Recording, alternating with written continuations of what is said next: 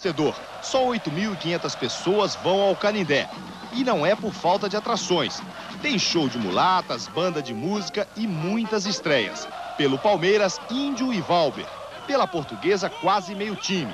Os laterais Edinho e Carlos Roberto, o zagueiro Gilmar e os atacantes Tiba e Zinho.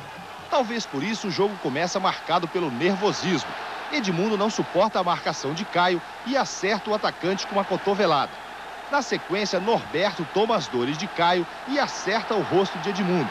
O craque palmeirense sai de maca jurando desforra. A portuguesa faz 1 a 0 num lance polêmico. Paulinho cruza, Veloso sai do gol e disputa no alto com Tiba. O goleiro solta a bola e Zinho, esperto, aproveita a sobra.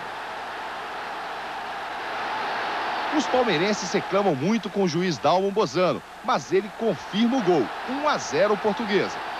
O jogo fica ainda mais tenso e Edmundo, que já tem um cartão amarelo, aproveita para pagar sua promessa.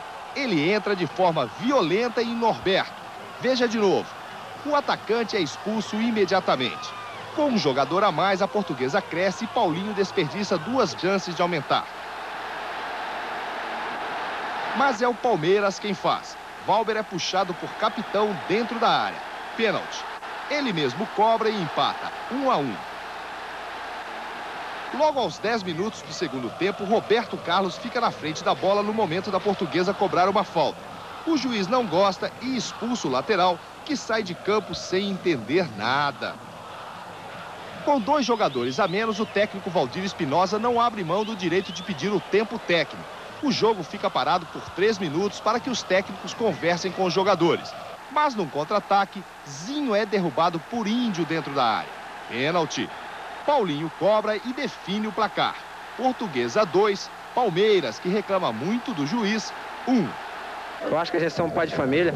A gente vem aqui com um espetáculo, vem jogar futebol e tem uma pessoa que vem prejudicar. Já na portuguesa, o clima era só de alegria e o mais contente era o jogadorzinho, que aproveitou para dedicar essa vitória aos cobradores de ônibus. Uma profissão que ele mesmo exerceu até os 21 anos de idade, antes de se tornar um jogador profissional. Valeu, né? A experiência muito forte dentro do ônibus, né? Cobrando. Eu vou dar um abraço muito grande a todos os cobradores do Brasil inteiro, né?